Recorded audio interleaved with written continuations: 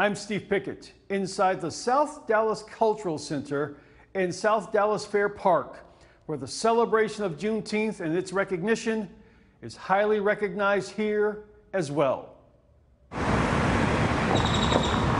Along the corridors and alleyways of Dallas's Deep Ellum, muralists leave their mark. For artist J.D. Moore, he leaves an impression, a history map of sorts, as a nod to the day known as Juneteenth. I am telling Dallas's role in the legacy of Juneteenth, and specifically South Dallas and Fair Park.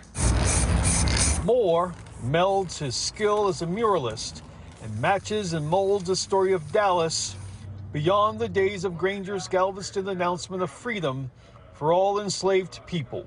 For example, the African American Museum at Fair Park, the park's grand esplanade that still been black presence decades beyond Lincoln's proclamation of freedom. To this figure here, which is uh, a figure that was depicted in a relief medallion adorned over the Hall of Negro Life. Moore's Juneteenth mural reminds and remembers through a Dallas prism. But Dallas has this rich history that is, quite frankly, hidden, and it is, you know, very uh, uh, impactful to the legacy of Juneteenth originating as a Texas holiday and then just sort of blossoming into a whole national recognition. JD's work, of course, is inside the South Dallas Cultural Center here in the Fair Park neighborhood. It provides a wide array of artistry dedicated to life in blackness. And it's not just for Juneteenth. Cultural Center made a space for Mr. Moore.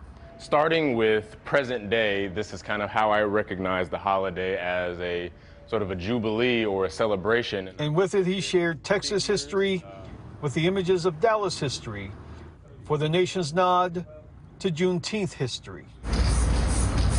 In South Dallas Fair Park, Steve Pickett, CBS News, Texas.